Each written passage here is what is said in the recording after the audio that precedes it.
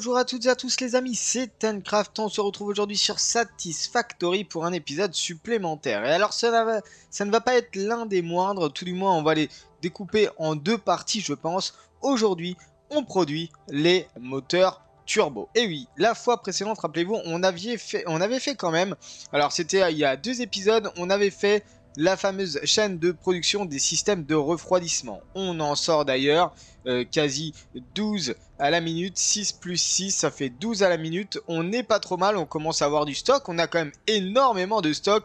Ainsi, ici aussi, des cadres modulaires fusionnés. On a pas mal de stock dans cette partie-ci. On avait quand même fait énormément de chaînes euh, d'approvisionnement de, matières premières. Euh, charbon, pétrole, bauxite, quartz, bien sûr cuivre et euh, fer. Donc on avait fait un ensemble d'approvisionnement et on va réutiliser cet ensemble d'approvisionnement pour fabriquer nos fameux moteurs turbo. Alors les amis, avant de commencer l'épisode d'aujourd'hui, n'hésitez pas à liker, à vous abonner et à commenter. Je vous mets à contribution, c'est extrêmement important pour moi. N'hésitez pas non plus les amis à rejoindre le serveur Discord et à vous abonner dans, à mon Twitter. Tout est en lien dans la description de la vidéo. Et alors, sans plus tarder, on va basculer sur les moteurs turbo. Alors les moteurs turbo, ça va être extrêmement complexe, mais bon, on aura quand même déjà plus ou moins avancé dans la production, dans une des branches de la production de ces fameux moteurs turbo parce que j'ai l'ambition les amis de fabriquer 1,875 turbo moteurs par minute. 1,875 turbo moteurs par minute, c'est tout simplement une seule, euh, c'est un seul manufactureur, c'est un seul fabricateur, d'accord? Et en l'occurrence, c'est pas trop mal puisque on va réutiliser notre système de refroidissement, le système de refroidissement, la, chaîne de production de système de refroidissement que l'on a créé la fois précédente. En effet, on a euh, une production de 12 par minute, il nous en faut 7,5. Donc on va en prendre une partie. Ok, on va en prendre une partie. Et puis tout simplement, on va amener ces, euh, ces systèmes de refroidissement dans la chaîne de production des turbomoteurs. Ça va euh, franchement nous réduire toute une belle zone de production, tout un bel axe de production, puisque c'est l'un des quatre axes euh, de la fabrication des turbomoteurs. Le axe étant du euh, caoutchouc, donc euh, franchement c'est pas très compliqué, on aura juste besoin de pétrole et de raffinerie. Et les deux autres, ce sont les moteurs, bien entendu, et les unités de contrôle radio. Les unités de contrôle radio que l'on va faire soi-même, les moteurs aussi, et le caoutchouc aussi. Donc tout ça pour dire quand même qu'on a besoin d'un certain nombre de ressources toutes ressemblent au système de refroidissement, si ce n'est en plus potentiellement euh, du quartz. Alors des cristals de quartz et non pas de la silice. Mais euh, si vous voulez, on est pareil. On est pareil, il y a besoin de nitrogène, il y a besoin d'eau, il y a besoin de pétrole, de cuivre, de bauxite, de quartz, de charbon. Et bien entendu, la plus grosse des chaînes de production, c'est le fer. Et c'est d'ailleurs par celui-là qu'on va commencer. Alors, première petit time-lapse en accéléré en musique. Je construis une plateforme en étage. On va faire un deuxième étage pour faire les turbomoteurs, bien plus haut que celui que vous pouvez voir par exemple ici. On va faire un deuxième étage afin justement de se concentrer sur les turbomoteurs pour toute la surface. D'accord? Donc on fait une petite construction rapide. Je suis en mode euh, non euh, cost build, donc pas de coût hein, de, de, construction. Je construis rapidement la plateforme et puis ensuite on enchaîne avec des cuts comme d'habitude pour les étapes de fabrication de la chaîne de production. De construction de la chaîne de euh, fabrication. Allez, on se retrouve juste après.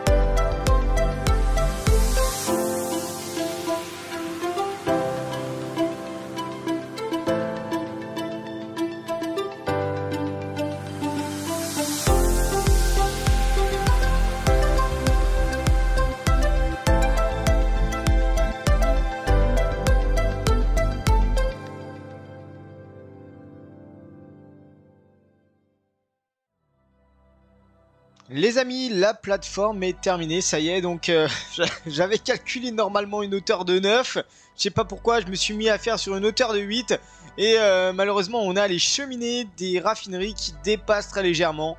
Bon, bah écoutez, c'est pas bien grave. Hein, euh, on va partir quand même sur ce plateau-là. Je vais pas refaire un nouveau à 9 de hauteur. On va repartir sur ce plateau-là. Et écoutez, les amis, on est reparti. Je commence à faire la chaîne de fer. Et on va tout simplement utiliser cette chaîne-ci qui est un, une veine de minerais de fer pur en sachant quand même qu'on a besoin de 316 minerais par minute. Donc 316 minerais par minute les amis ça demande une MK2 hein, tout simplement bien sûr. On peut pas faire de MK3 encore, on n'a pas de turbomoteur. Donc on part sur du MK2 et écoutez, regardez, clairement, on va les avoir, hein, les 316. On va même passer à 360. Et grosso modo, c'est vraiment, vraiment pas un problème. Est-ce que j'ai... Euh, ok, j'ai encore de la place. Là, on passe sur du 316, 360 euh, par minute pour bien bien remplir euh, bah, toute la chaîne de production. Et puis écoutez, je commence à faire la chaîne de production du fer, la transformation en lingot, la, transformation de, tout ça. Et dès que je, suis obligé de m'arrêter là en termes de fer, on se reprend. Allez, à tout de suite. Ok, les amis, on se reprend. Allez, 25 minutes plus tard. Eh bah, franchement, je trouve que grâce au blueprint qu'on a fait lors de l'épisode précédent, les amis, eh bien, j'ai gagné pas mal de temps. Voilà, je viens de faire toute cette ligne de production. C'est quasiment l'intégralité euh, du fer que l'on utilise. Donc, je suis, venu, chercher du fer ici à hauteur de 360. Et globalement, on a 8 euh, fonderies. On a 8 fonderies dans un premier temps. Ensuite, on a 12 constructeurs. Rappelez-vous le plan de 12 constructeurs, donc 4 sur 3 étages. Et on a de nouveau 12 constructeurs. Donc là, globalement, on a des lingots de fer. On a ici un lingot, euh, une fonderie qui va euh, faire des plaques de fer. Ces plaques de fer vont être envoyées jusqu'au bout. Je vous montrerai ça après. Le reste est envoyé euh, ici pour faire des tiges sur 3 étages. Bon, grosso modo, ensuite, les tiges arrivent ici pour faire des vis. On garde un peu de tiges en trop.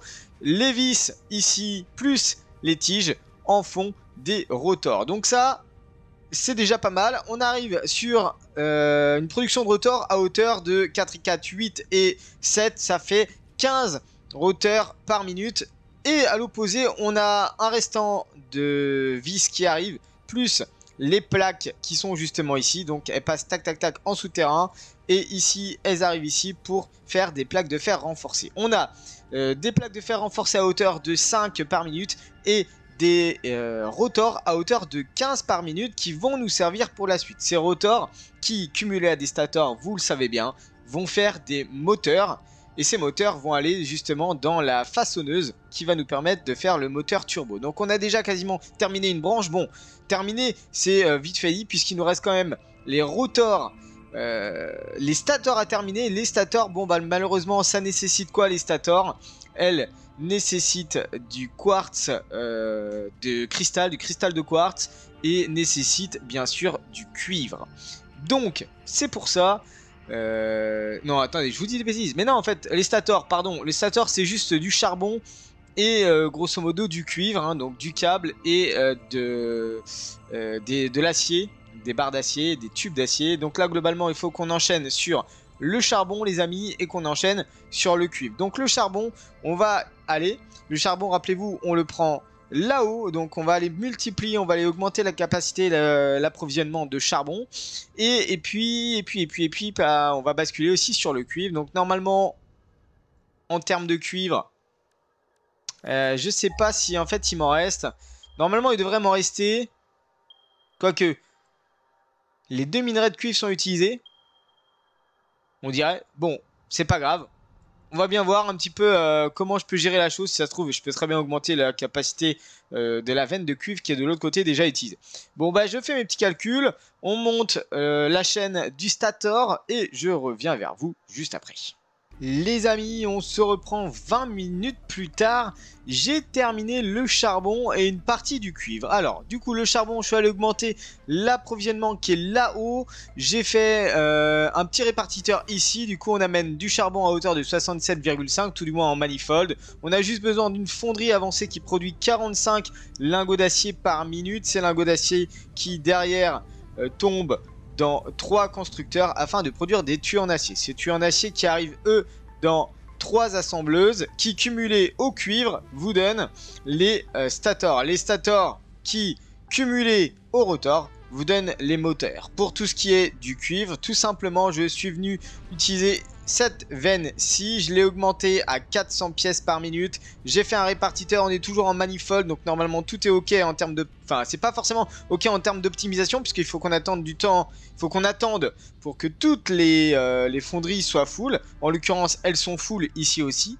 Donc, fonderie de cuivre, on est à hauteur de 8. On en utilise 4 pour justement les amener. On est sur quoi là? Sur du MK3, ok. On amène euh, des lingots euh, de cuivre ici pour faire des fils électriques, c'est pareil. Là, on n'est pas à 8, mais on est à 7 constructeurs afin de produire du fil. 4 constructeurs envoient justement ce cuivre dans les stators et on garde euh, 3 autres constructeurs à hauteur de 3, enfin 3, 2,87,5, on n'est pas à 3 à 100%. C'est euh, ce restant de câble va nous servir justement à faire, euh, enfin, ce, restant de fil électrique va nous servir à faire des câbles derrière qui, eux, vont nous servir à faire encore d'autres choses. Donc, en l'occurrence, on avance pas mal. On a notre premier axe, les amis, tout le moins notre deuxième axe, l'axe des moteurs. On a les moteurs, on a du coup, euh, dans ce sens, dans l'autre sens, pardon. Alors attendez, je suis perdu là. on a l'axe des moteurs, on a l'axe des hubs, je ne sais plus comment il s'appelle, système de refroidissement qui sont ici. On a deux axes, il nous manque le euh, caoutchouc qui est relié au pétrole bien sûr. Et il nous manque euh, l'unité de contrôle radio à hauteur de 3,75 par minute, le caoutchouc à hauteur de 45 par minute, c'est pas grand chose. Euh, par contre, les unités de contrôle radio à hauteur de 3,75 par minute, eh bien, il nous manque ceci. Donc, on va essayer de terminer ça. Et puis bah écoutez les amis, euh, on aura terminé les turbos quoi, les turbomoteurs. Franchement avec les, euh, vous voyez hein, tout du moins j'utilise quasiment les mêmes, euh, les mêmes plans à chaque fois. Donc soit du constructeur x8, soit du fonderie x8, soit du constructeur x12. Après j'adapte en fonction justement de, de si c'est 13, si c'est 14 ou si c'est 7 par exemple. Ici j'en ai supprimé un. Et exactement comme je voulais que ça se passe, il faut utiliser au maximum les blueprints, les amis. Bon, allez, je passe à la suite, c'est-à-dire les unités de contrôle radio. Allez, à tout à l'heure. Ok les amis, 20 minutes plus tard, j'ai l'impression qu'on fait des petites sessions de 20 minutes. Ok, j'ai amené le pétrole en partie. Une partie de ce pétrole se transforme en plastique pour alimenter des assembleuses plus des tôles de cuivre afin de faire des circuits imprimés. Les tôles de cuivre, c'était les, tôles restants de l'étage, vous vous rappelez. Donc, grosso modo, des circuits imprimés. Première façonneuse de cet étage pour faire les ordinateurs. On a besoin de circuits imprimés, de câbles de plastique, de vis. Le surplus de vis qui était ici. Euh, le surplus de fils électriques qui sont transformés en câbles.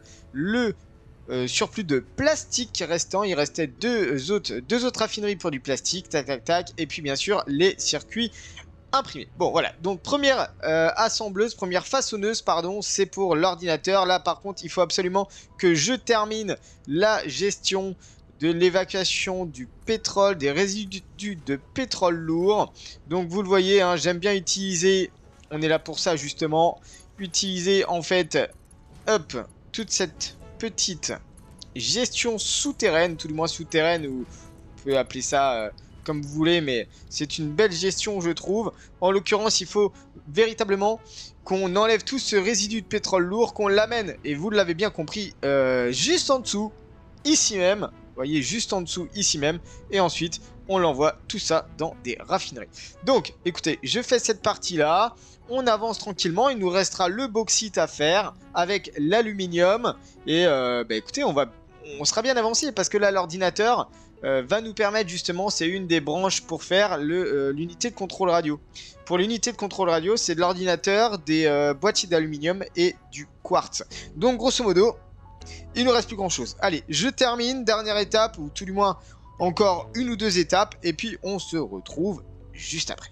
Les amis, on est à 2 heures de tournage et je viens de terminer les unités de contrôle radio. Donc effectivement, on a ramené du bauxite, on a fait les fonderies pour faire le rebut d'aluminium, la solution d'alumine plus le rebut d'aluminium. Ensuite, les fonderies avancées, complétées par euh, du quartz hein, que j'ai augmenté en cadence. Donc là, on a du cristal de quartz, on a de la silice. Tout ça, ça remonte ici pour faire la fameuse fonderie. Hop, celle-ci est euh, hors ligne. Donc, globalement, voilà. Ensuite, ok. Et du coup, ok, on produit les boîtiers, on produit les oscillateurs à cristal et l'ordinateur. L'oscillateur à cristal, rappelez-vous, c'était du cristal de quartz. Donc j'ai augmenté le cristal qui était là en, euh, en, pour avoir la bonne cadence et faire du cristal de quartz. Le restant de câbles, le restant de câbles qui était ici même, qui passe en souterrain. Et nous avons aussi les plaques de fer renforcées que l'on a fait au tout début, donc oscillateur à cristal, qui vient ici ensuite faire des unités de contrôle radio. Donc tout simplement, écoutez, on est pas mal du tout en termes de euh, structure. On a encore énormément de place. Regardez ce que ça prend. C'est ultra compilé ici. Franchement, c'est plutôt cool. Et après, c'est quand même assez aérien. Donc, grosso modo, eh bien, tout simplement, il nous reste à poser une seule façonneuse. Cette façonneuse, elle se focus sur les turbomoteurs. On a besoin des systèmes de refroidissement, des unités de contrôle radio, des moteurs et du caoutchouc. Les moteurs sont ici, on les amène. Ça va être assez rapide, je pense. Bon, je dessine quelque chose d'assez assez rapide. D'ailleurs, je suis super droit. C'est super satisfaisant. Ou pas du tout en l'occurrence. Ok, câble trop long, tant pis, c'est pas grave. Hop, ok. On est bon sur les moteurs. Le caoutchouc, le caoutchouc qui va venir d'ici bien sûr. Alors il va aussi falloir gérer le résidu de pétrole lourd. Il nous reste les unités de contrôle radio. Tout simplement les unités de contrôle radio qui arrivent ici même. On a besoin des systèmes de refroidissement qui, je le répète, sont en dessous ici même. écoutez, on aura terminé. Système de refroidissement et caoutchouc, le caoutchouc est là-bas. Écoutez, ce que je vous propose, c'est qu'on s'arrête là. Voilà, on produit enfin les moteurs turbo. Quasi, il me reste juste deux, convoyeurs à faire, mais je le ferai hors vidéo parce que euh, ça fait déjà un moment que je tourne, ça fait déjà 2 heures 5 minutes que je suis en train de tourner. Et globalement il faut qu'on arrête là parce que sinon ça va être galère à monter. En tous les cas les amis, voilà, tout simplement, on a terminé le moteur turbo. C'est pas si énorme que ça. Je prends la petite photo pour la miniature euh, parce que on a réussi grâce aux blueprints à bien bien bien compresser les débuts de production, c'est-à-dire les lingots de fer, les lingots de cuivre, euh, tout ça, tout ça. Franchement, c'est pas trop mal. Ce qui m'a pris le plus de temps finalement, c'est les raffineries parce que les raffineries, j'ai pas fait de blueprint de raffinerie. Euh, les assembleuses, c'était tout le temps des blueprints de 3 par 3 donc grosso modo voilà. les raffineries avancées aussi, je me suis servi des blueprints franchement, c'est pas mal du tout. N'hésitez pas à me dire ce que vous en pensez dans les commentaires. Sur ce, moi je vous souhaite une très très bonne journée. J'espère que vous avez apprécié. Allez, ciao, bye bye.